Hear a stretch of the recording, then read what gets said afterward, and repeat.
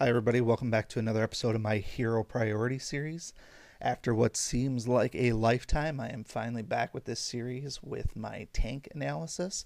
I know it seemed like it'd been forever since I've released one of these, but uh, I went back and looked at the published dates, and it has only been about four weeks since I've uh, released the he- healer one.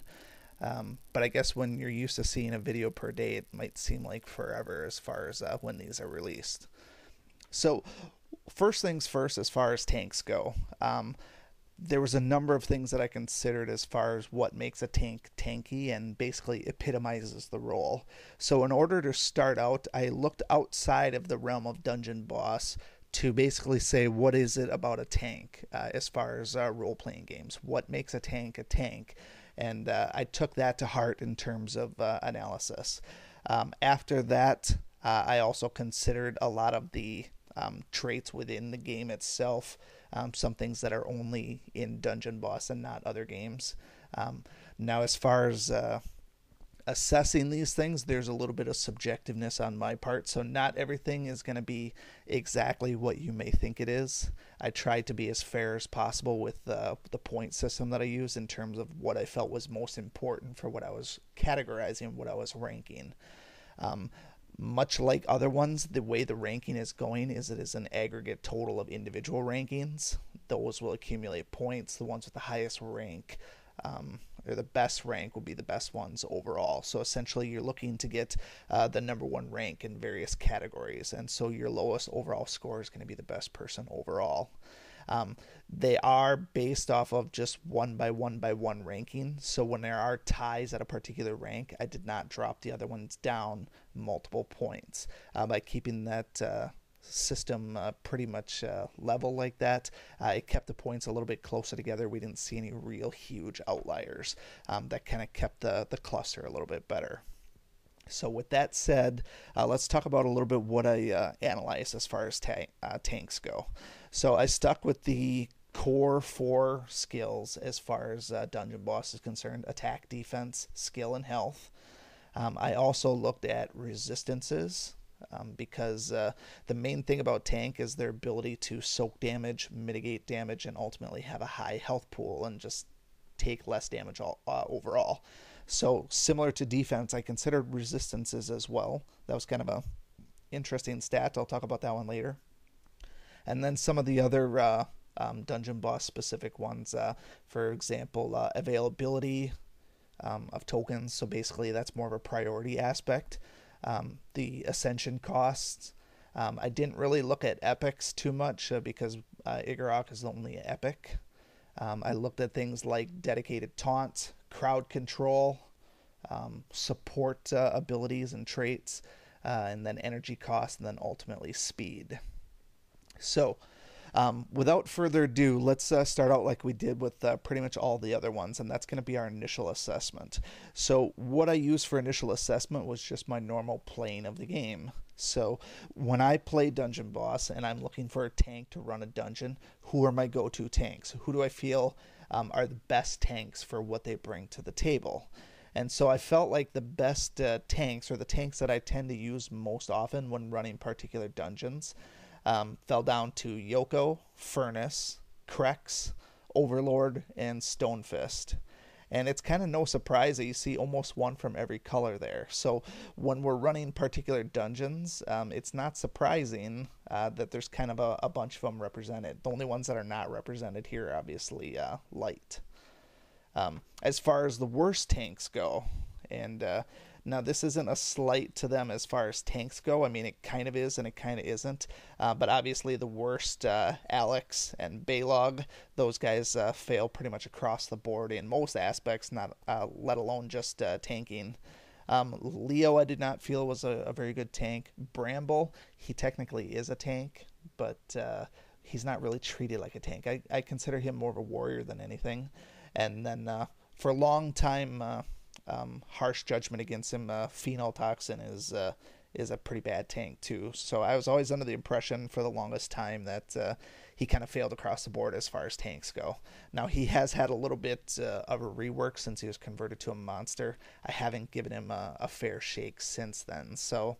Um, he may or may not be good now, but uh, I'm still kind of uh, biased towards him. So let's get into the actual stats then and talk about who's uh, the best in each of the particular areas that uh, really matter. Um, I'm not going to cover every single one of the um, areas that I went through. Um, I just mentioned uh, before all the different ones that I covered. Uh, I won't cover the rankings in every single one of them because some of them are, are kind of negligible, so I, will leave those out. Um, so starting off with attack. So attack is important as a tank because obviously a tank's general role is to absorb damage and mitigate damage, but a tank who can actually attack as well is extremely potent. So what I was uh, kind of surprised by, but also kind of not surprised, is the number one was Femus, and uh, Femus, if you've ever used him, he can be an absolute beast as far as attacks go. Now I remember the only time I really ever needed to use him was there was a boss mode uh, dungeon that required him. And I remember his wild swing just absolutely obliterated guys. So he is uh, by far the highest attack uh, out of the uh, um, out of the tanks. So it was uh, pretty impressive when I looked at his numbers uh, as far as attacks go. But his was his was quite a ways up there. Um, so definitely worth looking into as far as if you need a tank uh, Femus can attack with the best of them. Um, one that I was kind of surprised at was Furnace. Now, I never really pictured Furnace as an attacker. I know everybody puts him as uh, hardcore attack runes in PvP, and uh, that's 100% justified because he has the second highest attack out of anybody in the entire uh, tank spectrum, so that's pretty uh, impressive there. Um, what I was also kind of surprised with uh, was towards the bottom, Pigneus. Um, one of the worst as far as attacks go, which I, I thought uh, that was kind of the case, but uh, um, a lot of people just drag Pigneus along for his passives. But uh, if you're looking at an attack Pigneus, you're going about it all wrong. And then obviously uh, Alex at the bottom, that doesn't surprise me either. Um, Alex has been largely a failure since his implementation, and even after being a construct, he's kind of a failure as well. Next up, uh, defense. Number one defense. I was kind of surprised by this one, um, but that's only because I don't use him, and that's Kozar. Kozar's got the highest defense out of all the tanks, and then a close second behind him was actually Furnace, which was not surprising. And then uh, coming up in number three was actually Krex, who was pretty good. And then uh, worst as far as defense goes, um, I was a little surprised here. Yokozuna was the absolute worst, and uh, not surprising, Balog was down there too. Um, also, not surprising was Phenol. Um, because, like I said, Phenol, I, I attribute him as being one of the, the worst out there uh, for a long time. So it's not surprising that he had low defense. And for someone who, like I said, failed across the board as far as tanks go, if you have a low defense as a tank, uh, that's obviously not good for you as far as tanking is concerned. Next up, skill. Now, skill I included in here just because it's one of the four core stats. Um, as far as what skill does for a tank, we just really don't know what that is yet, other than critical. Um, so kind of take this one with a grain of salt. But skill um, is getting a rework. It is going to do some different things. We don't know exactly what it's going to do, but it is going to do more than just uh, critical. Um, it's going to have some other uh, passive type stuff as well. Largely healing at this point, but uh, we'll see what it does for basically everybody else outside of the healer class. Um, but as far as uh, skill goes, it's not surprising that Bramble is number one. He's got an extremely high skill, which raises his crit. Um, and again, Furnace, uh, number two. So you can see Furnace is already top of the list in three different categories. That makes uh, him look pretty promising at this point here. Um, as far as low skill goes, a um, couple guys at the bottom. Uh, unfortunately, Krex is down there. I thought Krex was a pretty good uh, uh, hero, but his skill is obviously not there. Stonefist, not really much in the way of skill there either. So now, what uh, some consider probably the most important stat uh, is health. The health pool for a tank has always been uh, one of those things. Now, if you've played multiple games, there's always ongoing debate in terms of whether health pool or defense or damage mitigation is uh, more important. Um, I've always been a, a, fan of Health Pool, and I don't want to get into that debate, but uh, I have a, a, string of really solid arguments um, for specific games in terms of why I think Health is better. But um, like I said, we're not going to get into that. So, um, Number one in terms of health was Furnace. Uh, comparatively speaking to everybody else, Furnace was by and large way more than anybody else. Kozar also has very high health, and actually, uh, we got one shiny moment from Phenol here, who has reasonably high health as well. Um, rounding out the bottom, uh, William, he's good at low levels, but uh, once you get him maxed out, he's just extremely underwhelming. Same with uh, Overlord, he's good at low levels, and then ultimately uh, kind of you know fizzles away. And then also not surprising is Bramble. Uh, none of those goblins really have a ton of health. Uh, he's no exception, so um, he's got pretty low health as well.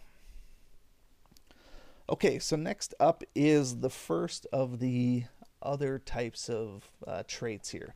Resistances, remember I said resistance is similar to that of defense in terms of it's going to lower some of the damage you take. Now, what I was really looking for in terms of resistance is are there anybody that jump out that have a particularly high resistance in an area that nobody else has? Now, I never really paid too much attention to resistance until uh, I did this, but essentially, every single hero has a base resistance against their current element, which is their highest one, and then they have a medium high resistance towards their strength element and then they all have a base resistance of 5 for spirit. Um, what I did notice though, not any single one of these tanks actually has a resistance that is an outlier in that particular category. So, for example, all of the water heroes have a 33% uh, um, resistance towards water. There was no water hero that had more or less resistance than that to water. Same thing with their fire. They all had 18% fire. None of the water heroes had more than that. None of them had less than that. The only difference in these percentages are if you are not fully six starred up. Uh, but comparatively speaking, they were all the same. The difference was um, because when we look at the um, resistances, you get 33% for your own element and then you get 18% for your um, element that's weak against you, and then you would have uh, zero resistance for the ones that are strong against you. So where that put us then is the light and dark heroes were actually missing one because their strength and weakness kind of canceled each other out. So they actually, uh, if you are a light or a dark hero, your overall uh, composite resistances were actually less. So just uh, comparing all resistances, all light and dark heroes, they still had the exact same numbers as far as uh, comparing to each other, but they are ultimately lower than uh, the primary three colors.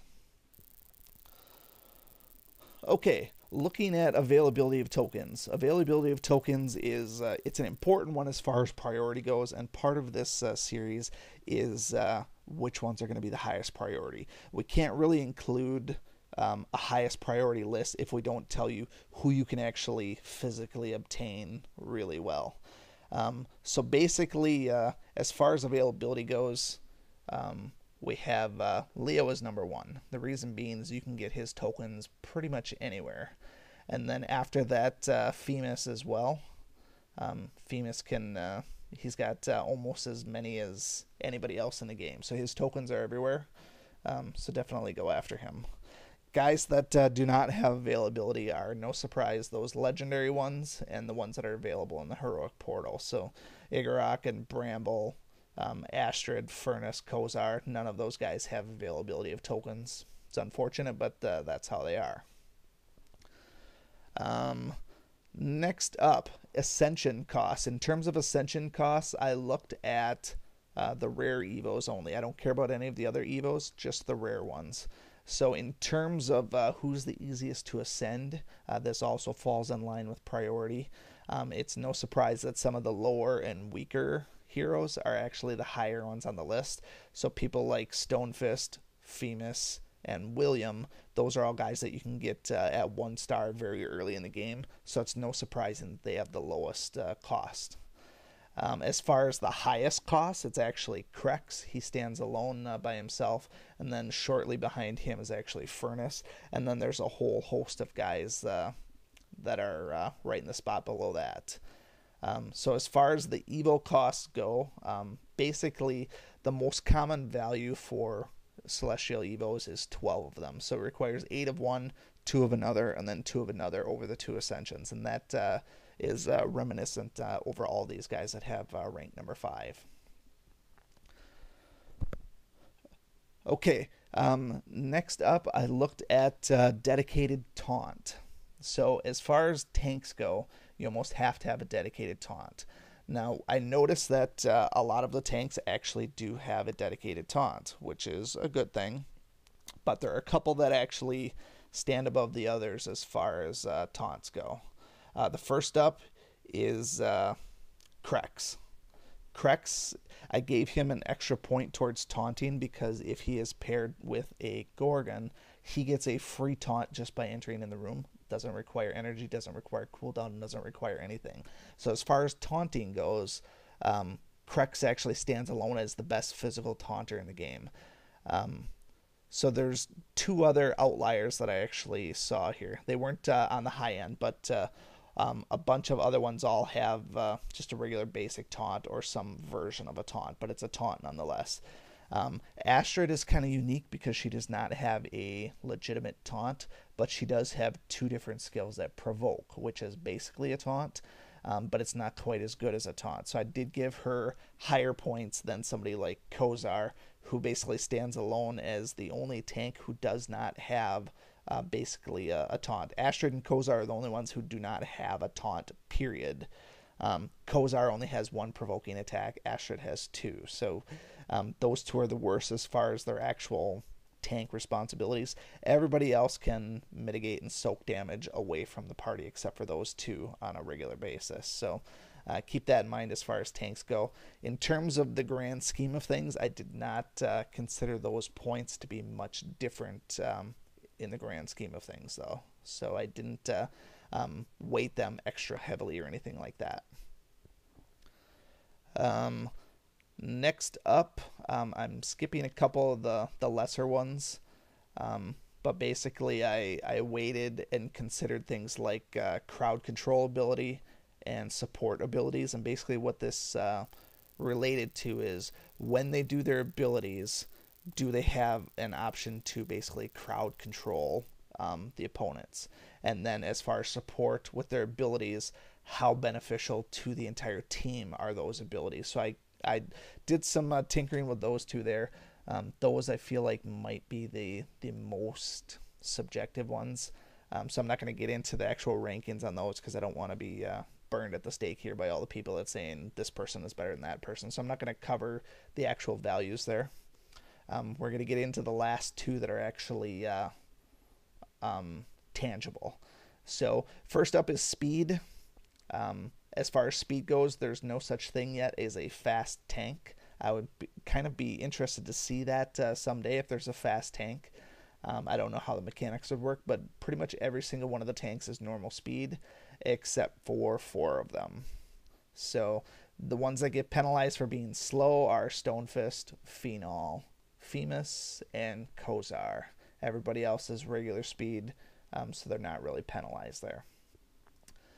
And then lastly, to round things up, we have energy costs. Now, energy cost uh, kind of pairs together with some of the other stuff in terms of who's actually going to be able to use their skills the most often. And that's important as far as a tank goes, um, because if you're able to uh, keep taunting or use your crowd control, or if you have a self heal, um, the best possible energy usage is going to give you an edge uh, when you're running uh, long dungeons, or even better when you're running short dungeons and need those skills up on cooldown.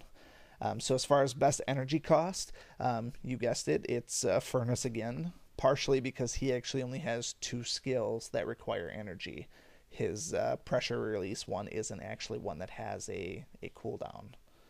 Um, so, uh, keep that in mind as far as uh, considering Furnace at the top, but uh, I don't think many people are going to doubt that Furnace is a, a good tank. Um, William is actually a, a, very high one as far as energy cost goes as well. So is Yoko.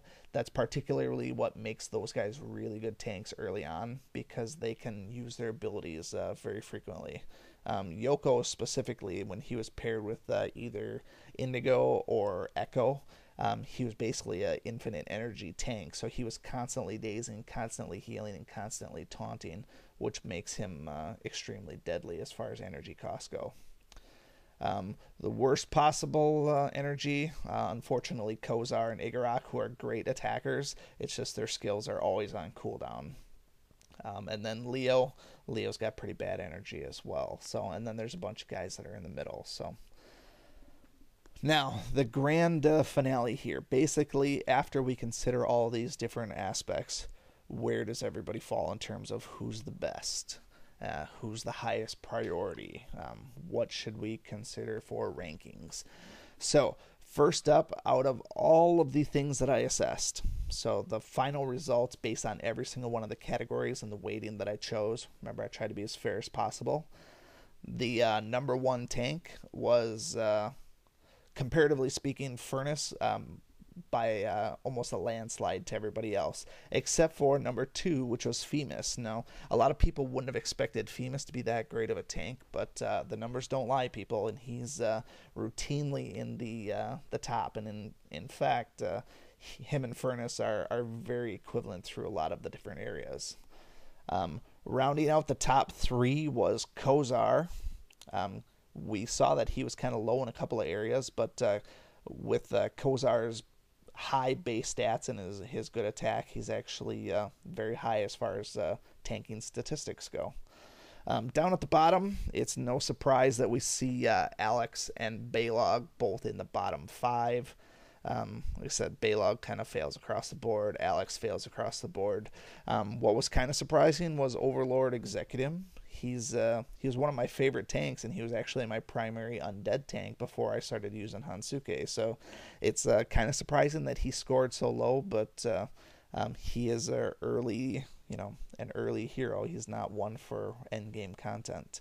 Um, I was kind of surprised that William was so low as well because uh, um, a lot of people are using him at 70 in in uh, you know certain dungeons, and I see him even in PvP sometimes as well. Um, so it's kind of surprising that he's that low as well. So, keeping in line with uh, some of the other ones, we're also going to take out some uh, some other stats and, and compare them as well. So, this next list here is looking at just the core four stats. So, we're looking at attack, defense, skill, and health. Um, rounding out the top three again Furnace, Femus, and Kozar, exact same order one, two, and three. And then uh, rounding out the bottom, Leo, William, and Balog. So again, uh, the tops and bottoms uh, stay the same. The middles switch up a little bit, uh, but the top and bottom are largely the same. And then lastly, um, we have one that's uh, it's the core four stats plus a few of the other ones that are important, um, like uh, ascension cost, availability, the energy cost, and I believe um, maybe the resistance one. I can't remember which one I did, um, but it was the core four stats plus four additional ones. So again, top three: Furnace, Femus, Kozar in that order again, and then uh, rounding out the bottom. Leo, Balog, and Pigneus. So Pigneus hadn't dropped down too far. Um, in any of the other ones, but now he's actually the absolute worst when we compared those uh, particular areas. Um, so he was actually uh, pretty low, and then uh, the other guys are still towards the bottom. Alex is still pretty low. William is uh, kind of bumped up to the middle now. But the top and bottom again stay pretty much the same, and the middle kind of shifts around a little bit. But what we can deduce from these three lists here the absolute best of the best as far as tanks, the ones that you want on your team, whether it be for dungeon running or even possibly for PvP. You want Furnace, you want Femus, you want Kozar. And then the only other person who was routinely in the top five was actually Krex. Um, so he rounds out the top four as far as best uh, tanks go. The worst of the worst, uh, Balog, no shocker there. He was the bottom of the barrel in two of them and second from the bottom in the third. Um, Leo was routinely in the bottom five of all of these. William was routinely in the bottom five of uh, two of these, and Overlord Executive was bottom uh, five in all three lists. So these guys are the worst of the worst as far as tanks. That's not to say that they don't have some usage. Obviously, like I said, depending on your level progression, William and Overlord can be great tanks uh, early on uh, because of their relatively low energy use. Uh, you can get a lot of good use out of their skills. But once you get uh, further along in their games, their stats start to lag behind uh, a lot of the other guys, and then uh, things start to fall apart. So, um, one last little disclaimer about this particular video. After I went through and did all of the analysis, I did notice that there were a couple of instances where I may have been slightly off on some of the base stats. Now, when I did the base stats, I looked at just the base stats and then uh, disregarded anything with runes, disregarded anything with epics, and just looked at the base in order to uh, rank these. There were a few instances where um, people that I did not have six starred. For example, um, Furnace in one instance and Kozar in one instance because I don't have those guys six stars. Um, I accidentally used their five star rating rather than calculating out the six star. So some of those guys might have a slightly higher rank than what I gave them. Um, but in terms of the overall results, I don't think it was enough that it was going to push them drastically up or down. So I kind of kept it as it was. But um, if you're wondering why um, somebody is ranked so low in a particular area, keep in mind that it's possible that I consider their five star and not their six star. So before you go getting all gung ho about the comments saying that, oh, his attack is so much better than so and so, or his defense is so much better than so and so, keep in mind I might have a slight uh, error there, but their overall rankings are going to be probably within a, a, point or two of each other, anyways. So I don't uh, think it's going to be a huge issue. So, with that said, uh, that is going to wrap up this video here. The next Hero Priority series is going to be the casters. I have started on the analysis, but what I'm ultimately looking at from you guys is what do you think it is about a caster that makes a caster a good caster? So, for example, um, one of the things that I'm considering right now is AoE based attack. So, for example, um, do they have an AoE attack? How many of them do they have? Things like that. Um, so, casters obviously energy costs um, total damage output, area of attack, stuff like that. Give me some ideas in terms of what you think are important aspects of casters, and then I will come up with an appropriate uh, weighting scale and point system to help uh, uh, assess them. But uh, that'll be uh, hopefully not uh, another four weeks, but if it takes four weeks to get it out, I apologize, but it's it's a lot of work analyzing all these different skills. So got to cut me a little bit of slack there. But uh, until next time, uh, I guess uh, keep on keeping on. Let me know if you have any questions, comments, or concerns. Thanks. Thank you so much for watching this video and supporting my channel. If you like this video, please show your continued support by hitting that like button, and be sure to check out both my YouTube channels for new content all the time. And always remember, peace is a lie, there's only passion. We'll see you next time.